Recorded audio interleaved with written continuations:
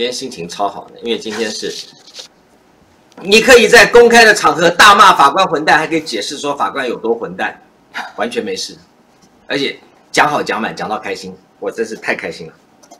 好，我这边呢也先帮大家，啊，我来当一下这个张静律师的嘴替哦，来讲一下，就是大概我刚刚有了解到今天开庭的状况，呃，刚刚开了一个多小时的庭，然后呢，我们先讲结论啦，就是张静律师呢，他是直接来退庭的。那退庭了之后呢？法官这边就说了，八月三十号要来宣判，所以到时候再帮大家提前注意一下八月三十号的一个宣判结果。那今天的开庭是第四次开庭，不过蛮奇妙的。张静律师有说，呃，包含的是检察官，包含的是张永慧的委任律师。他们在张静律师在的时候是全程没有说话的，也就是张静律师在庭上的时候，只有张静律师跟法官在对话。可是就在张静律师退庭之后呢，哎，这个张友会的委任律师也好，检察官也好，都跟法官是有讲到话的哦。哎，这就很奇妙了。好，再来就是说呢，张静律师为什么要退庭？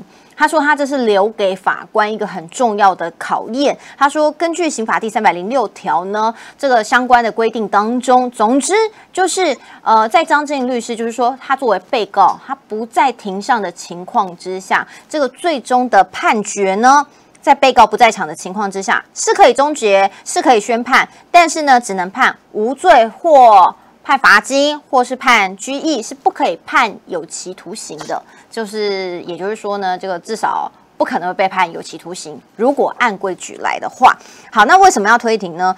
呃，因为法官呃张静律师认为说他自己去申请说这个案子要合议庭来去做审判啦，不要独任，不要法官自己去判。然后再来呢，他申请调查证据，希望可以传七个证人，包含彭批、包含蔡英文在内，包含这个一般旁听的民众。哎，这个一个都不传。最离谱的是，法官居然讲了一句话，说：“哦，我已有新证，所以不用传证人。”就是法官可以有新证，我们大家都知道，可是这个应该不是能搬上台面上，在法庭上公然的直接说：“哦，我已经有新证了，所以不用传证人。”非常的荒谬啊！好，那所以呢，在这一次第四次开庭是以一个多小时来结束了今天的算是言辞辩论啦。但是前一次说是言辞辩论，也没有真正实质的言辞言辞辩论嘛。那就是看看彭平你是怎么看待，就是呃张静律师留了这一手，用退庭的方式给法官留下一个考验。今天法官混蛋案的开庭啊，说是非常的精彩。彭平你怎么看？好，真非常有趣哈！我觉得我最大的遗憾就是说，我没有办法这个亲自在法官的面前侃侃而谈，证明张永会有多混蛋，这实在是我非常大的遗憾。不过呢，刚才我觉得慧荣你错怪了今天的法官，今天的法官叫冯昌伟，冯是二马冯，昌是呃约约昌，这两个日哈，应该事实上约。伟是伟大的伟，冯昌伟法官，你错怪他了，因为他肯定是要判张静无罪啊。好，你们不用讲，你们不用讲，我有新证，而且这就无罪啊，这有什么好吵的？所以你们都不用再解释了。所以就这样啊，下次宣判才会说不需要解释啊，对不对？那如果他有一点疑虑的话，他应该什么？叫法警说来人呐，去把那个胖胖的那个。那个满脸胡子的、白胡子的，身上拿个钓竿的，你给我把他抓回来！老子还有话没问完呢，他跑什么？对不对？简单的讲就是说哈，今天如果我讲一加一等于二，你是法官，你不用证明给我听了，你也不用去找数学专家陈醒生呐，啊，你也不用找什么这个中研院的数理所的院士。因为一加一等于二，我知道了，我有新证，你不用证明，证人也不必，证物也不必，只有这个可能啊。所以法官不传证人，也不用再叫张静多做解释。如果今天张静说一加一等于三，张静说的东西是不对的，那如果你是一个法官，你要怎么办？来，张静，你告诉我为什么一加一等于三？好，你告诉我哪个数学大师支撑？这个理论一加一等于三，你把它找来。好，来，你给我找一本这个经典的数学的数论，证明一加一等于三。所以，如果法官认为张静他有话要讲，就是说他有话要讲，说张永辉就是混蛋。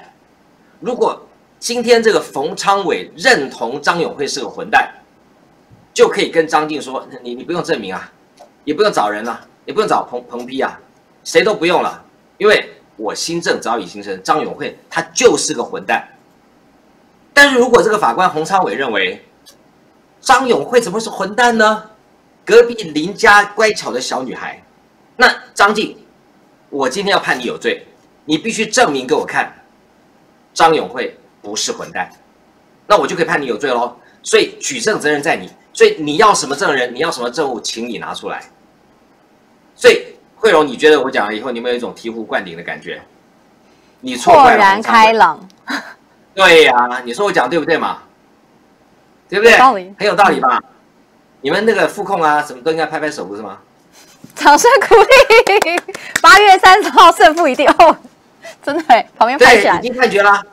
对，真蛮有意思的。你自己说我，我的逻辑有错吗？这个这个这个解读逻辑逻辑正确，非常清晰。对呀，非常条理。就是法官完全认同张远慧是混蛋，所以你不用证明了，所以你不用证人，你也什么都不用，我早有新证，因为张远慧就是个混蛋。搞不好这个法官曾经被张永辉甩过也不一定啊，所以你怎么知道？哎，你不知道法院里面桃花朵朵开吗？法院你去 Google 一下，法院桃花树已经长到那个阳台了。法院出了一大堆这种，有那个法官为了要去把另外一个法官，还上网去偷看他的个资，还有上次的那个把那个呃把那个郑文灿羁押的那个法官的检察官，给他的老公戴了一个绿帽。跟另外一个庭的法官有一腿，这不是我讲，你去你去 Google，而且是被还被那个法官人事评议委员会，呃，给那个就是呃就惩处吧，那那个就是那个羁押庭中间的一个女法官，所以 这种事在法院啊，实在非常非常的多，所以你怎么知道这个冯昌伟不是跟这个张永慧早就已经有嫌隙？对不对？说明就是这个新生院对辖院报复，所以张静一告这个张永辉的时候，这个冯昌伟是说：“哎，我终于逮到了，落到我手里了，你们都不用证人，也不用麻烦了，我直接早就已经有新证，我可以判决了。”所以他不传证人啊。所以当张静转身走的时候，他也没有拦住他呀，对不对？如果啊因为我今天跟张静律师聊过，我是说真的，如果不是像张静律师这种干过检主任检察官、干过法官。然后又又职业二三十年的人，真的不会那么有经验的。因为好，我刚刚都是连肖维啊，我觉得这个法官的结局也不用大家也不用，要不要跟我赌？如果我们开这样的朋友们跟我要不要对赌？或者是慧荣要不要拿压岁钱来跟我对赌？他就是判他拘役，拘役两个月，然后一颗罚金，你要不要赌？我干嘛跟彭伴先赌啊？我拿你手里的红包赌。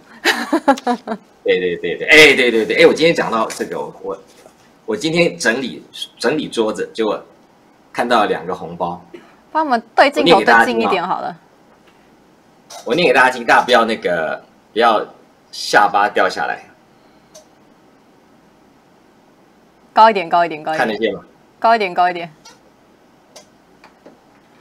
好，我看到文正兄有有有有有有，好，来来，请彭平念一下。好了，上面写了什么呢？哦，我今天在整理整理档案，就突然看到这两个红包哈。文正兄通过苦难迈向胜利，大家猜猜是谁写的？赖清德吗？没没讲，真的很难猜。希望是蔡英文的吧？蔡英文，蔡英文，蔡英文，哦，公布标准答案。谢谢大家，谢谢大家。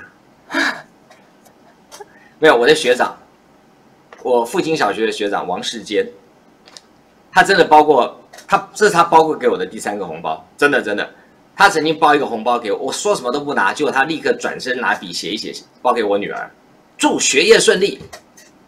那我说不可以，他说我包给你女儿，跟你什么关系？祝学业顺利，就包了一个红包给我女儿。啊，那时候我还在台湾，呃，还没有被通缉。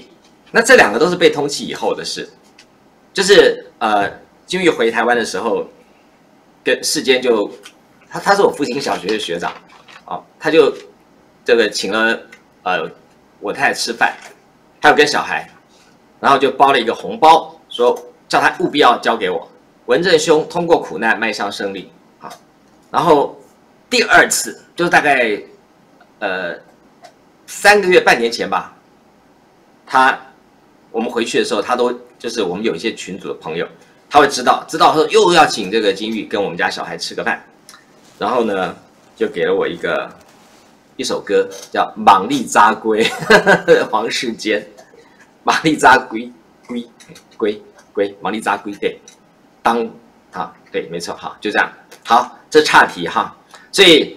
呃，人间还是有温情的哈。不过，哎，阿根呐，学长啊，你应该去质询呢。你应该去问外交部，说我那学弟的护照被抢啦，你们要不要处理一下啊？对不对？好，好，我们刚刚在讲哪里？岔题了吗？呃，反正呢，就是望你早归，希望他可以拿一点实质的帮助。真正的来望你早归，对对对对对。我们刚刚讲到，应该还是还是还还是讲张静律师的案子吧。现在非常感谢千鸟在林，不如一击在手，给我们的赞助抖内支持。啊，我有一个问题，其实想要问彭皮，就是呢。因为其实今天张建律师在就是说回顾一个多小时的开庭过程，当然后半段他不在了，但是呢，他觉得让他印象非常深刻的事情，就是他有在跟他人没有在法庭里面的呃现场的状况气氛是完全截然不同的。就诚如我刚刚一开始的时候讲的，这个张建律师在现场的时候，张永辉的委任律师跟检察官东西点点不更为。但是呢，张静律师一退庭之后，哎，他们就开始跟法官有讲话了啊。当然，我们不知道他实际上讲话的细节是什么啦，因为那时候张静律师已经没有在庭上了。但是，就是光这件事情就很微妙啊。到底是什么样的氛围？会是还是说张静律师的气场太强大了？所以张静律师一在现场，他说那一个一个小时大概都是他在讲，是什么样的情况？对啊，那个我们的气场都很强大。你你去旁听过你就知道啊，那个连那个法官都巴不得要挖个洞往地上钻呐。我们都不讲脏话的，我们都不不像那个林元龙还讲那个问候人家妈妈，我们从来就是温和的、理直气和的，顶多就是我退庭要去上厕所，然后去告了张永辉，最多做到这样子而已。可是法官一句话都没办法回，对方律师也是，你是记不记得上次我在的时候？就是我在镜头里面的时候，张敦涵吭都不吭一句啊。结果我关掉镜头退庭之后，张敦涵在那边呛说：“你回来，你叫他回来啊！”